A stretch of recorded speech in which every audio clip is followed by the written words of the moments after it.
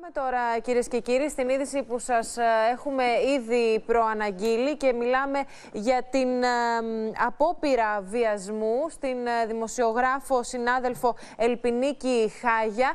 Το ζήτημα είναι ένα και νομίζω ότι αυτό είναι που αν θέλετε λίγο πονάει και την συνάδελφο ότι ο άνθρωπος αυτός είχε συλληφθεί πριν από λίγες ημέρες με ποσότητα ναρκωτικών και αφέθηκε ελεύθερος και μάλιστα αφέθηκε ελεύθερος και ο τσιλιαδόρος του. Στην τηλεφωνική μας γραμμή είναι η συνάδελφος ε, Ελπινίκη Χάγια να μας περιγράψει τις ε, στιγμές αυτές που έζησε. Καλημέρα. Καλημέρα. Καλημέρα σας και ευχαριστώ πολύ για το, για το κάλεσμα και για το... Εμείς ευχαριστούμε που βρίσκετε και το κουράγιο να είστε μαζί μας.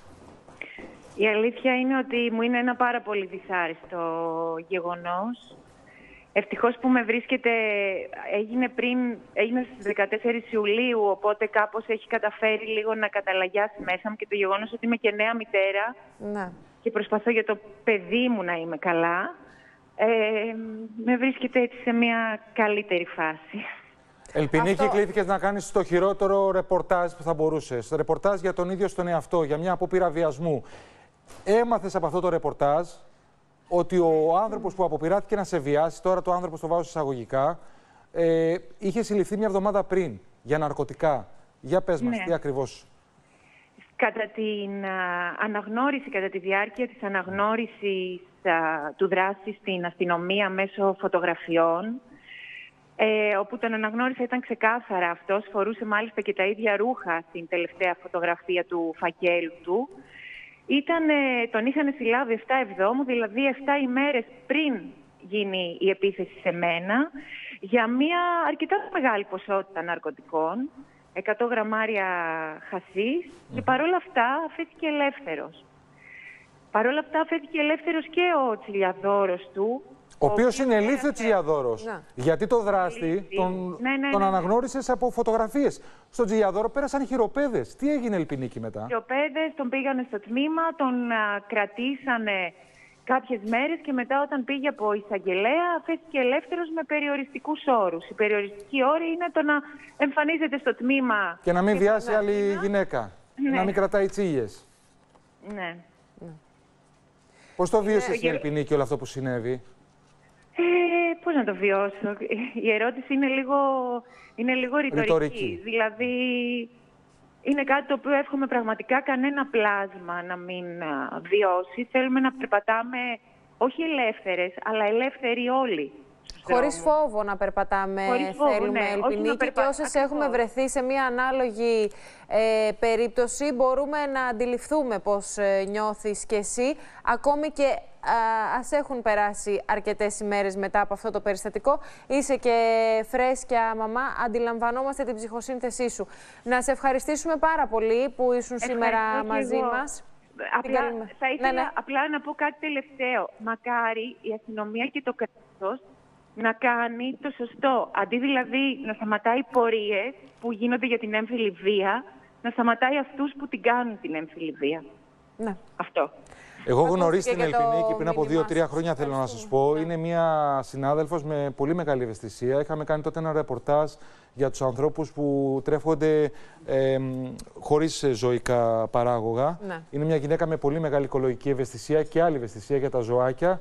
Ε, ήταν και έγκυος όταν γνωριστήκαμε και δυστυχώς ναι. έμελε να τα ξαναπούμε για ένα δυσάρεστο γεγονός. Αλλά ήθελα να αναδείξουμε, Ελπινίκη, αυτή την υπόθεση, γιατί είναι κάποιοι νόμοι που πραγματικά θα πρέπει να μας προβληματίσουν όλους και κυρίως και τους πολιτικούς μας εκτός από τη δικαιοσύνη. Σε ευχαριστούμε πολύ. πολύ. Καλημέρα. Να είστε καλά. Καλημέρα, Καλημέρα μας.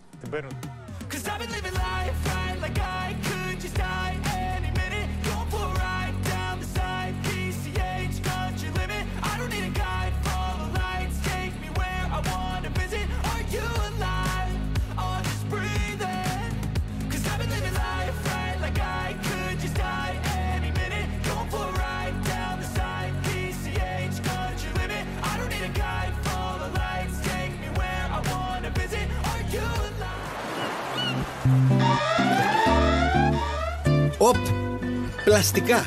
Μεγάλος μπελάς. Ό,τι χειρότερο για τις θάλασσες. Δεν εξαφανίζονται ποτέ. Και με τον καιρό διασπώνται σε μικρά μικρά κομμάτια που απειλούν όλα τα θαλάσσια πλάσματα. Και τελικά και εσάς τους ίδιους.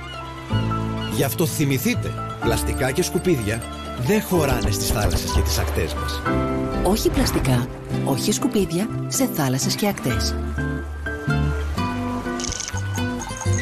Και καλό καλοκαίρι.